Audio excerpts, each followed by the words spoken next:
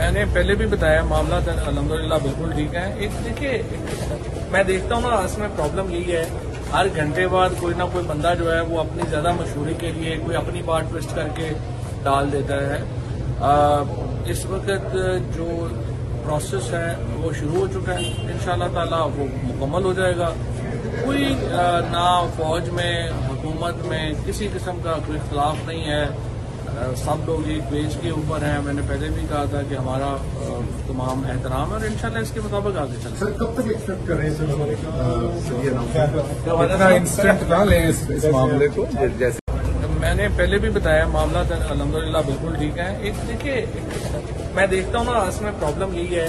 हर घंटे बाद कोई ना कोई बंदा जो है वो अपनी ज़्यादा मशहूरी के लिए कोई अपनी बात ट्विस्ट करके डाल देता है। आ, इस वक्त जो प्रोसेस है वो शुरू हो चुका है। इन ताला वो मुकम्मल हो जाएगा। कोई ना फौज में हुकूमत में किसी किस्म का कोई इख्तलाफ नहीं है।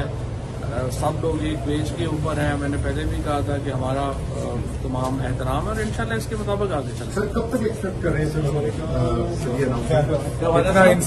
लें इस मामले को। जैसे